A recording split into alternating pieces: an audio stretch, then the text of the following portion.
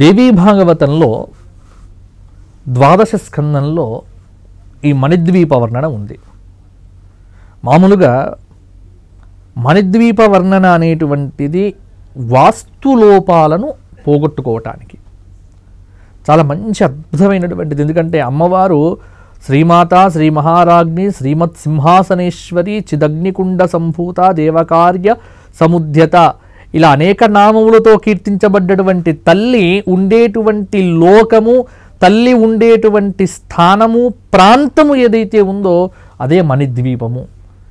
ఈ మణిద్వీపంలో అనేకమైనటువంటి వర్ణన సీస ప్రాకారము తామ్ర ప్రాకారము అన్ని ప్రాకారాలు వస్తూ ఉంటాయి. ఆ ప్రాకారంలో దేవతలు ఉంటారు. అంటే అమ్మవారు ఉండేటువంటి నివాస స్థానము ఎంత అద్భుతంగా అప్రమేయంగా అనంతంగా ఉంటుందో అద్భుతమైనటువంటి వర్ణన. ఆ మణిద్వీపంలో చింతామణి గృహాంతస్థ శ్రీమన్నగరనాయిక కాబట్టి చింతామణి అనేటువంటి గృహము యందు జగదంబిక పరాభట్టారిక మహాకాళి మహాలక్ష్మి మహాసరస్వతి స్వరూపిణిగా ఆ లలిత త్రిపుర సుందరి విరాజమానురాలై ఉంటుందట.